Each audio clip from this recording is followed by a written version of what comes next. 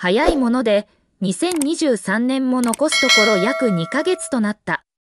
年末が近づくにつれ気になってくるのが、大晦日に開催される NHK 紅白歌合戦の出場者である。昨年出演の B、ファーストや上腕は連続出場となるのか。他にも香取慎吾や山下智久らの出場にも期待の声が上がっている。スカイハイ率いる BMSG に所属する7人組ダンスボーカルグループの B、ファーストは2022年の第73回紅白歌合戦に初出場しており、2度目の出場が期待されている。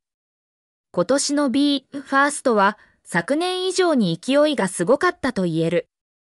9月13日にリリースしたフォースシングルメインストリームではタイトル曲メインストリームのゼロベースからの楽曲制作にメンバーが初挑戦。同楽曲は非常にシンプルなヒップホップベースのサウンドにもかかわらず、ファンなどからの多大なる支持を集め、各種音楽チャートで116冠を達成した。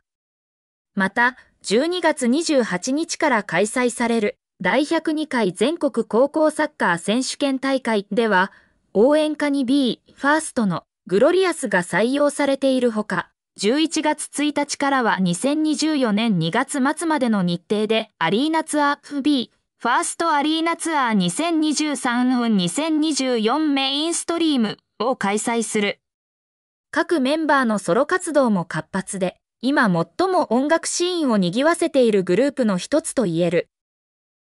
そして、紅白出演グループの予想に外せないのが、海を越えて日本や韓国で活躍する11人組グローバルボーイズグループの上腕だ。彼らは2022年に悲願の紅白初出場を達成した。上腕は9月20日にサードアルバムイクイノックスをリリース、9月26日発表のオリコン週間アルバムランキングで初登場1位を記録したほか、ビルボードジャパンアルバムセールス集計速報2023年9月18日から9月20日の集計。でも25万枚のセールスで2位以下に圧倒的な差をつけて1位にランクイン。韓国の人気音楽番組、ショーチャンピオン、韓国 MBC ミュージックと M カウントダウン、韓国 M ネットにも出演を果たし、今後のグローバル展開に期待のかかるカムバックだった。さらには11月1日よりアジアツアーも開催。ジャカルタとバンコク、台北、上海で公演を行う予定で、その人気を世界に広げつつある。HYBE から LE スセラフィムに続いてアンドチームも。昨年は赤組での出場が相次いだ韓国初のグローバルグループ。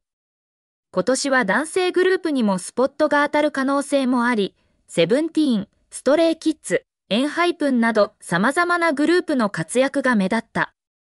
初出場組として予想したいグローバルグループがチームだ。彼らは HYBE ラベルズジャパンより2022年12月にデビューしており、日本人7名、韓国人1名、台湾人1名の9名からなる。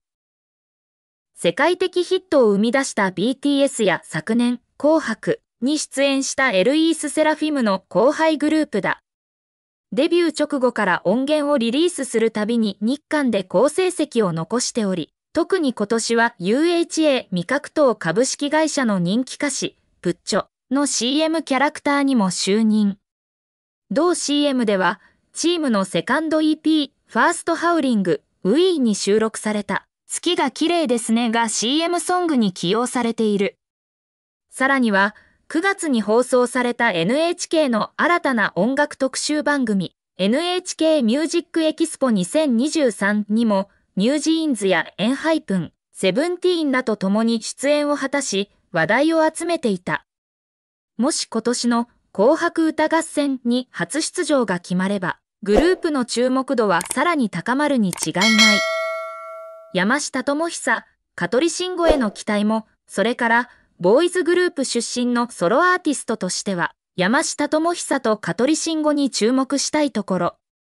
まず、山下は今年、5年ぶりにアルバムをリリースしたことで話題を集めた。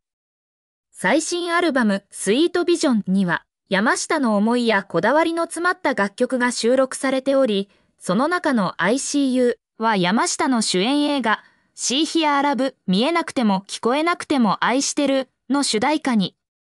同アルバムを携えたアリーナツアー、友久山下アリーナツアー2023スイートビジョンも盛況だったことは記憶に新しい。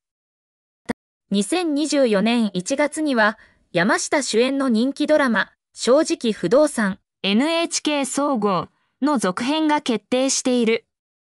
そういう意味でも山下ソロでの紅白出演も可能性が高いかもしれない。香取慎吾は今年1月から5月にかけてソロとして初のアリーナクラスでのライブツアーブラックラビットを成功。さらには草薙剛の主演ドラマ罠の戦争カンテレフジテレビ系の主題歌としてセブンティーンとコラボしたベッティングを発表。香取も NHKE テレの教育バラエティ悪い子集まれに新しい地図の3名でレギュラー出演を果たしていることから、ソロやセブンティーンとのコラボで紅白の会場に姿を現す可能性もあるのではないだろうか。果たして今年の NHK 紅白歌合戦にはどんなアーティストが出場するのか。紅白を含め年末の音楽番組はその年の音楽シーンや出来事を振り返る良い機会となる。今年も年の瀬の音楽番組の賑わいを楽しみに待ちたい。